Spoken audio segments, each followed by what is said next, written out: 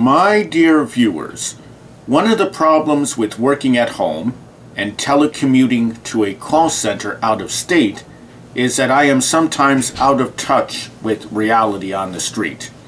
When I first got a TikTok account, I would know who hit the like button on one of my videos. To award the person, I would subscribe to his account. Someone recently sent me a message asking, quote, who the F are you, end quote. I deleted the rest of the word because I want to be able to monetize this on YouTube. I thought people with TikTok accounts wanted followers. Was I wrong to subscribe to the person? You are welcome to leave your opinions in the comments section. Thank you.